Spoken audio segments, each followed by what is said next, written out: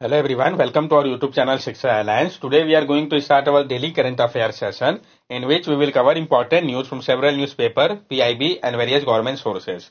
So let's begin our session. Our first topic is National Policy on Research and Development and Innovation in the Pharma MedTech Sector. तो हम जानेंगे जो national policy है research and development and innovation के लिए pharma medtech sector के लिए union minister of chemical and fertiliser and minister of health and family welfare in India had launched a significant initiative known as National Policy on Research and Development and Innovation in the Pharma Sector. तो किसके द्वारा launch किया गया important हो जाता है तो जो यूनियन मिनिस्टर है केमिकल एंड फर्टिलाइज़र के, और minister of health and family welfare Bharat के, उन दोनों ने मिलकर लॉन्च किया है एक सिग्निफिकेंट इनिशिएटिव को, जिसका नाम है national policy on research and development and innovation in pharma medtech sector इस पॉलिसी का मकसद है कि ट्रांसफॉर्म किया जाए भारत के फार्मास्यूटिकल और मेडिकल टेक्नोलॉजी इंडस्ट्री को उसको कॉस्ट बेस्ड से value based and innovation driven बनाया जाए। की हाईलाइट इसका क्या है? Transformation goal they need to shift the focus on India pharmaceutical and medtech sector toward innovation and value creation आवश्यकता है शिफ्ट करने की, जो फोकस है भारत के फार्मास्यूटिकल और मेडटेक सेक्टर को इनोवेशन और वैल्यू क्रिएशन के ऊपर। इकोसिस्टम बिल्ड करने की बात कही गई है। ये जो पॉलिसी है, ये बात कर रहा है कि स्टेब्लिश किया जाए एक ऐसा इकोसिस्टम को जो मदद करे स्किल और कैपेबिलिटी को बूस्ट करने में इन्वॉल्व करे एकेडमिया को और प्राइवेट सेक्टर को प्रायोरिटाइजिंग रिसर्च एंड डेवलपमेंट तो जो रिसर्च और डेवलपमेंट है, उसको प्रायोरिटाइज करने की बात कही गई है। जो इंपॉर्टेंस है रिसर्च और डेवलपमेंट का अचीव करने के लिए सेल्फ रिलायंस को फार्मास्यूटिकल और मेडिकल डिवाइसेस के लिए। इंफ्रास्ट्रक्चर डेवलपमेंट की अगर हम बात करें तो ये जो स्कीम है इसका मकसद है कि डेवलप किया जाए वर्ल्ड क्लास रिसर्च इंफ्रास्ट्रक्चर को, जो इंस्टीट्यूशन है, जैसे कि आपका नाइपर हो गया national institute of pharmaceutical education and research और दूसरे रिसर्च इंस्टीट्यूट में फोकस ऑन प्रायोरिटी एरिया इसका जो फोकस है, वो प्रायोरिटी एरियाज़ के ऊपर है। The initiative identify specific priority area to enhance India's pharmaceutical industry global position.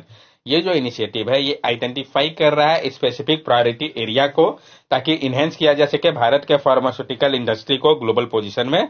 Economic growth और एम्प्लॉयमेंट की बात कही गई है। ये जो स्कीम है, ये एंटिसिपेट कर रहा है कि जो लॉन्च होगा कमर्शियली वायबल प्रोडक्ट का ये मदद करेगा बूस्ट करने में ग्रोथ को भारत के फार्मास्यूटिकल सेक्टर का हेल्थ केयर सोल्यूशन को ये प्रोवाइड करेगा।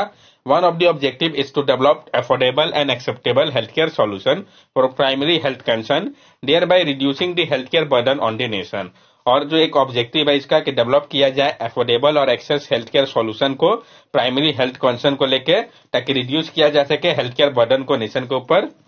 नेक्स्ट टॉपिक हमारा सोशल बॉन्ड तो हम जानेंगे सोशल बॉन्ड के बारे में। National Bank for Agriculture and Rural Development NABARD has successfully raised 1040.50 crore through a five-year social bond. तो नाबार्ड है national bank for agriculture and rural development उन्होंने सक्सेसफुली रेज किया है 1040.50 करोड़ को फाइव ईयर के सोशल बॉन्ड के लिए the social bond issue by NABARD have received triple A rating from CRISIL and ICRA and they will be listed on BSE Bombay stock exchange और ये जो social bond issue किया गया है नाबार्ड के द्वारा, इसको ट्रिपल ए का रेटिंग दिया गया है क्राइसिल और इकरा के द्वारा, और ये आपका लिस्टेड होगा बीएससी बॉम्बे स्टॉक एक्सचेंज पे। NABARD recently introduce a sustainability bond framework aim debt financing and refinancing green and social project और नाबार्ड ने भी हाल ही में इंट्रोड्यूस किया है एक सस्टेनेबिलिटी बॉन्ड फ्रेमवर्क को, जिसका मकसद है फाइनेंस करना और रीफाइनेंस करना ग्रीन और सोशल प्रोजेक्ट को। Social bond are a type of financial instrument or investment vehicle issued by government, company or organization to raise capital for project or initiative with a specific social or environmental purpose. These bonds are typically designed to fund projects that have a positive impact on society or address social and environmental challenges. जो social bond है एक type है financial instrument का investment vehicle का जिसको issue किया जाता है गवर्नमेंट कंपनी या ऑर्गेनाइजेशन के द्वारा ताकि रेज किया जा सके कैपिटल को प्रोजेक्ट या इनिशिएटिव के लिए, जिसका स्पेसिफिक सोशल या इन्वायरमेंटल पर्पज हो। ये जो बॉन्ड है, ये टिपिकली डिज़ाइन किया गया है फंड करने के लिए वैसे प्रोजेक्ट हो, जिसका पॉजिटिव प्रभाव पड़ रहा हो सोसाइटी के ऊपर या वो एड्रेस कर रहा हो सोशल या इन्वायरमेंटल चैलेंज को। नेक्स्ट टॉपिक है हमारा ब्रेक थ्रू एजेंडा रिपोर्ट 2023 तो जो ब्रेक थ्रू एजेंडा रिपोर्ट है 2023 का, इसके बारे में हम जानेंगे, फिर इसका क्या इंपॉर्टेंट की फाइंडिंग है, इसको भी समझेंगे। Breakthrough Agenda Report 2023 is an annual collaboration between International Energy Agency, International Renewable Energy Agency and United Nations Climate High Level Champion. तो जो आपका ब्रेक थ्रू एजेंडा रिपोर्ट है 2023 का ये एनुअल कोलेबरेशन है। किन किन के बीच में ये इंपॉर्टेंट हो जाता है? तो international energy agency international renewable energy agency और united nation climate change high level champion के बीच में ये आपका कोलेबरेशन है। It focus is on strengthening international cooperation to accelerate the reduction of global green house gas emission इसका focus है कि मज़बूत किया जाए इंटरनेशनल कॉपरेशन को और बूस्ट किया जाए और रिड्यूस किया जाए जो ग्लोबल ग्रीन हाउस गैस का एमिशन इसको, की फाइंडिंग इसका क्या है? The report evaluate progress made since 2022 in priority area for global collaboration ये जो रिपोर्ट है, ये इवेलुएट कर रहा है जो प्रोग्रेस हुआ है 2022 के बाद से अभी तक प्रायोरिटी एरियाज़ में ग्लोबल कोलेबरेशन के लिए।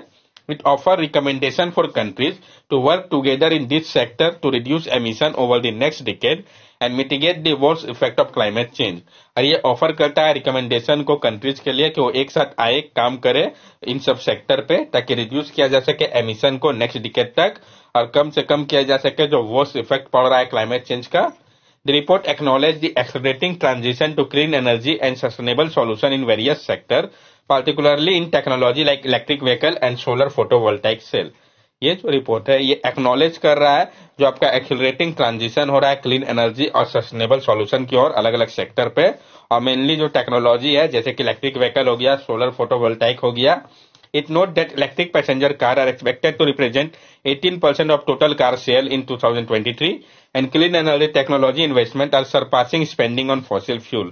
और ये नोट किया गया है कि जो इलेक्ट्रिक पैसेंजर कार होगा वो एक्सपेक्ट किया जा रहा है कि वो रिप्रेजेंट करेगा 18 परसेंट टोटल कार सेल का 2023 पे और जो क्लीन एनर्जी टेक्नोलॉजी इन्वेस्टमेंट है ये सरपास कर देगा स्पेंडिंग को फॉसिल फ्यूल के ऊपर However, some high emission and challenging to decarbonize sector include steel, hydrogen and agriculture are not transitioning rapidly enough despite progress in certain aspect.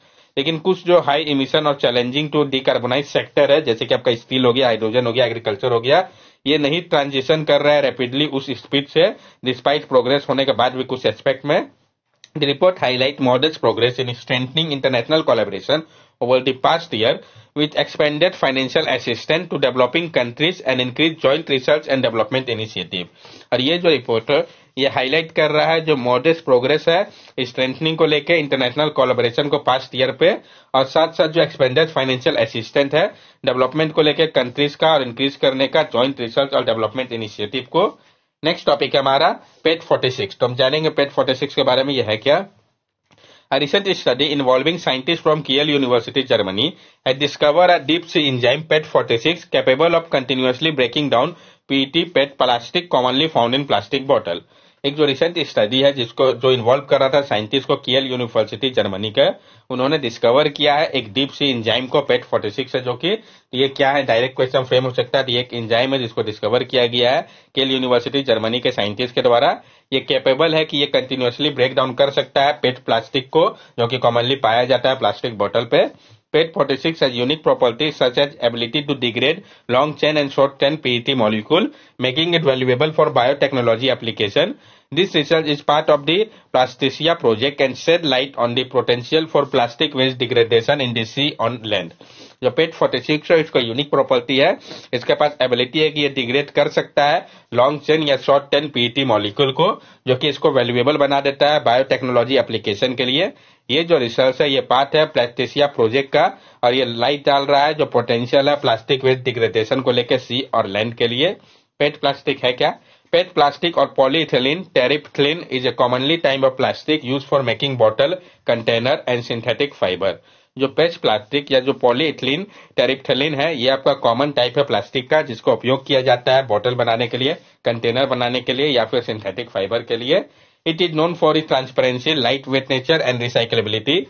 PET is widely used for packaging, beverage, food and personal care product. और ये जाना जाता है इसके transparency light weight nature और रिसाइकेबिलिटी के कारण पेट जो है इसका वाइडली उपयोग किया जाता है पैकेजिंग के लिए बिवरेज का फ़ूड का और पर्सनल केयर प्रोडक्ट के लिए Previously, researcher from the University of Cambridge has created a system to turn PET plastic waste and greenhouse gases into sustainable fuel and valuable product using solar energy. और इसके पहले जो researcher थे university of Cambridge के उन्होंने create किया था एक सिस्टम को जो कि टर्न कर दे रहा था पेट प्लास्टिक वेस्ट और ग्रीन हाउस गैस को सस्टेनेबल फ्यूल पे और वैल्यूएबल प्रोडक्ट में उपयोग करके सोलर एनर्जी का यहाँ पे आप देख सकते हैं जो पेट बोतल है ये ट्रांसपेरेंट रेक्लोसेंट और ये डिज़ाइन किया गया है रियूजेबल के रूप में। इसका जो है एडवांटेज है, ये शटर प्रूफ होता है। पेट जो है वो इन्फिनेटली रिसाइकलेबल है। पेट बोतल जो है ये बिग ट्रांसपोर्टेशन सेविंग में मदद करता है। 1.5 से 2x पर ट्रैक मोर देन ग्लास बोतल के कंपैरिजन में। पोर्ट बोतल जो है 20 percent less green house gas का एमिशन करता है अदर पैकेज टाइप में। ये प्रोड्यूस करता है लेस प्रोडक्ट वेस्टेज को, क्योंकि इसका रेजिस्टेंस है ब्रेकेज और डिप्टी को लेके। 90 परसेंट जो पेट है यूएस के, वो जाते हैं रिसाइकलिंग के लिए रिसाइकल होने के लिए। नेक्स्ट टॉपिक है हमारा बालसम तो हम जानेंगे बालसम के बारे में। डायरेक्ट क्वेश्चन भी फ्रेम हो सकता है कि ये है क्या। तो मुन्नार में जो एक पॉपुलर टूरिस्ट डेस्टिनेशन है भारत का बालसम जिसको कि हम डेनस इम्पेशन के नाम से भी जानते हैं, ये पूरी तरीके से ब्लूम किया है, जो कि प्रोवाइड करता है डिलाइटफुल विजुअल स्पेक्टेकल को। Blossom are sometime refer to as touch me not due to their tendency to burst and distribute mature seed upon touch और जो बालसम है उसको पहले जाना जा रहा था टच मी नॉट के रूप में भी। ये किसका जो टेंडेंसी था बस्ट होने का डिस्ट्रीब्यूट कर देने का मैच्योर सीड को टच करने के बाद इसका इसको टच मी नॉट भी कहा जाता था। Balsam are considered significant indicator species for climate change, reflecting alteration in plant population when climate change occur. और जो बालसम है इनको माना जाता है कि ये सिग्निफिकेंट इंडिकेटर स्पीस है क्लाइमेट चेंज को लेके। ये दर्शाते हैं अगर कोई अल्टरेशन होता है प्लांट के पॉपुलेशन में जब क्लाइमेट चेंज होता है तो। इडुक्की डिस्ट्रिक्ट जहाँ पे मुन्नार लोकेटेड है, वो जाना जाता है डाइवर्स रेंज ऑफ़ बालसम के लिए, जिस कारण इसका नाम जो है बालसम पैराडाइज भी रखा गया है साइंटिस्ट के द्वारा, जो हाई एल्टीट्यूड एरिया है, जो कि सराउंड कर रहा है अनामुरी को, जो कि हाईएस्ट माउंटेन है वेस्टर्न घाट का। ये पार्टिकुलरली जाना जाता है इनके rich biodiversity of wild balsam के कारण। यहाँ पे आप देख सकते हैं इस स्पीसीज को। नेक्स्ट टॉपिक हमारा क्यूबिट सर्किट तो हम जानेंगे क्यूबिट सर्किट के बारे में। तो जो आपके रिसर्चर है एमआईटी के, उन्होंने सिग्निफिकेंट प्रोग्रेस किया है, उन्होंने डेवलप किया है एक novel super conducting qubit architecture को, जो कि परफॉर्म कर सकता है ऑपरेशन को क्यूबिट के लिए, जो कि काफ़ी ज़्यादा एक्यूरेसी के साथ होगा। प्रीवियसली जिसको अचीव नहीं किया गया, वैसा एक्यूरेसी को। ये जो है उपयोग किया जा रहा है relatively new type of super conducting qubit को, जिसको कहा गया है फ्लुक्सोनियम जहाँ पर जिसका लाइफ स्पेन जो है वो लॉन्गर होगा ट्रेडिशनल सुपर कंडक्टिंग क्यूबिट के कंपेरिजन पे। ये अलो करेगा उनको कि वो अचीव करे सिंगल क्यूबिट गेट को 99.99 परसेंट एक्यूरेसी के साथ, और जो टू क्यूबिट गेट होगा 99.9 परसेंट एक्यूरेसी के साथ, वो अबव होगा threshold needed for certain error correction code के लिए। जो फ्लोक्सोनियम है, ये एक टाइप है क्यूबिट का क्वेंटम बिट का। जो कि बेस्ड है operation at important junction in super conducting circuit के ऊपर. क्वेंटम कंप्यूटिंग जो है, आपका ये मल्टी डिसिप्लिनरी फ़ील्ड है, जो कि उपयोग कर रहा है क्वेंटम मैकेनिक का, ताकि सॉल्व किया जा सके कम्प्लेक्स प्रॉब्लम को फास्टर क्लासिकल कंप्यूटर के कंपैरिजन पे. और क्यूबिट जो है, वो बेसिक यूनिट है इंफॉर्मेशन का क्वेंटम कंप्यूटिंग के लिए. ये आपको पता होना चाहिए. नेक्स्ट टॉपिक हमारा कैमूर वाइल्ड लाइफ सेंचुरी इसके बारे में हम लोगों ने पहले भी कंसिडर कर रखा है, जानेंगे फिर से न्यूज़ पे आया तो. Kaimur wild life sanctuary Bihar is getting second tiger reserve in Kaimur Kaimur wild life sanctuary expected to be established by the end of 2023 और अर्ली 2024 बिहार को जो है, ये सेकंड टाइगर रिज़र्व मिलेगा, जो कि आपका कैमूर वाइल्ड लाइफ सेंचुरी होगा। ये एक्सपेक्ट किया जा रहा है कि स्टेब्लिश हो जाएगा 2023 के एंड तक या 2024 के स्टार्ट में। जो आवश्यकता पड़ी सेकंड रिज़र्व की क्रोज हुआ वो वाल्मीकि टाइगर रिज़र्व जो कि बिहार का पहला टाइगर रिज़र्व है, जो उसका कैपेसिटी तो था मेंटेन करने का टाइगर को उसका लिमिट में पहुँच गया था इस कारण। तो पहला टाइगर रिज़र्व बिहार का कौन सा है? वाल्मीकि टाइगर रिज़र्व है, और दूसरा कैमूर वाइल्ड लाइफ सेंचुरी है, ये दोनों कहा है? डायरेक्ट क्वेश्चन फ्रेम किया जा सकता है तो बिहार पे।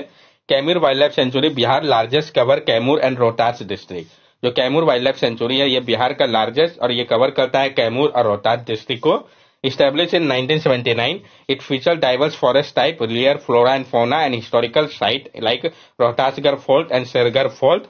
The government planned to convert it into a tiger reserve इसको स्टेब्लिश किया गया था 1979 में। यह फीचर्स करता है डाइवर्स फॉरेस्ट टाइप को रियर फ्लोरा और फोना को। और ये हिस्टोरिकल साइट यहाँ पे है, जैसे कि आपका रोहतासगढ़ फोर्ट हो गया शेरगढ़ फोर्ट हो गया। गवर्नमेंट ने प्लान किया कि वो कन्वर्ट करेगी इसको टाइगर रिज़र्व के रूप में। यहाँ पे आप देख सकते हैं जो ये लोकेशन है, इसका कहाँ पे लोकेटेड है कैमूर वाइल्ड लाइफ सेंचुरी और कौन कौन सा इंपॉर्टेंट है, वो आपका बिहार में कहाँ कहाँ है, यहाँ पे इस मैप में सब दिखाया गया है। That's all for daily current affair session अगर आपको हमारी वीडियो अच्छी लगी हो तो हमारे चैनल सब्सक्राइब करें, हमारे वीडियो को लाइक करें और ज़्यादा ज़्यादा शेयर करें। This are our social media link from here also you can stay connected with us and give us your valuable feedback thank you and have nice day